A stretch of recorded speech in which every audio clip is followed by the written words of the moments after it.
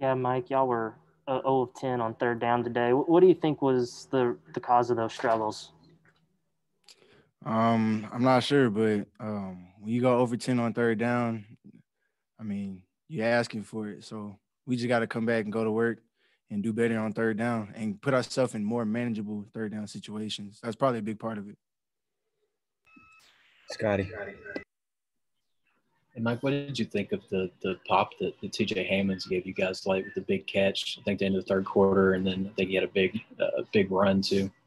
Yeah, yeah. I, have been telling TJ like just keep your head on straight and just keep working because your opportunity's coming. And so his opportunity came today, and he he made a big he made he did good with his opportunity. So I'm proud of TJ. He did great, and that was really big for his confidence for sure. Tom.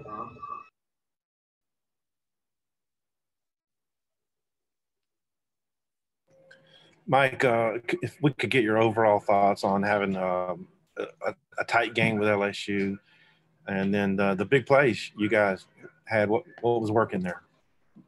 Um, thoughts on the game. I mean, like I said, we we can't go over ten on third down. We can't put ourselves in non-manageable third down situations, and we just got to execute execute at the end of the day.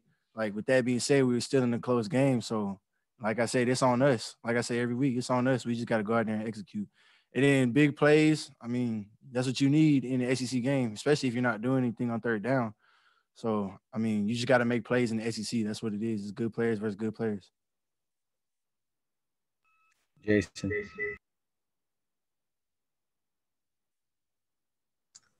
Hey, Mike, just uh, your game overall and your continued progression. Like, how much do you, more comfortable do you feel week to week and, and ability to make big plays and the confidence that comes with that? Oh uh, yeah, I mean I feel good, feel confident, but I've always felt that way. So um, I'm glad now that it's clicking, but we got to get the win at the end of the day, and we just got to go back to work. I got to go back to work because I'm sure there's things that I can get better at. I got to watch the film and just keep improving. Mason.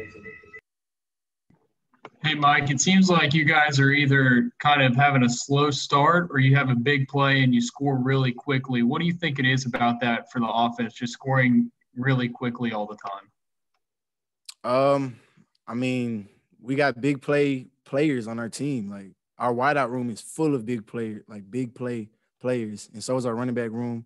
And so, and we're a tempo offense, so everything is going to be kind of quicker anyway. So that's what that is. Trey Schapp. Mike, do you think that you guys made a, a enough effort to try and go deep today? And uh, some of the catches you made, what did you see on those plays? Um, uh, what I saw, I mean, it's just man to man coverage, and when it's man to man, I'm already looking at Coach Briles like, and so it was man to man coverage, and I just went deep, and just you got to make plays, like I said in this league, you just got to make plays, contested catches stuff like that. So I feel like that's what we did today. Hutch. Yeah, Mike, uh, the run game has been really good for y'all. Wasn't there today. How much does that uh, hurt the the passing game? How much does that affect the offense as a whole? I mean, it, it obviously affects because you need a running game. It, it, helps the passing game out and stuff. But at the same time, uh, the receivers, we always got the running backs back running backs always got our back. So if we're not on our game, we expect them to pick up the weight. This is what it is. Sometimes it's got to be this group doing more to help this group out. So that's just football. So, Tom. Mike, how do you think you guys are going to bounce back from this one? With a win.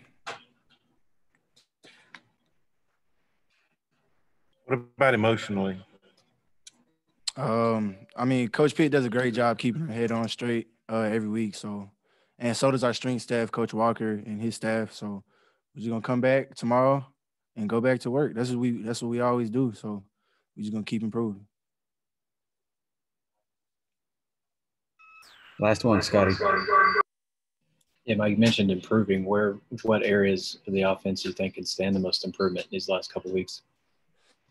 Uh, everybody needs to improve. Like because it, even if like let's say I, I, had a good game today, but like if I don't improve and don't do anything in the future, then it's like it didn't even happen. So everybody has to improve. O line, running backs, tight ends, quarterback, receivers. Everybody has to improve, or else I mean we're not going nowhere if we don't improve. So thanks, Mike. Thanks, Mike.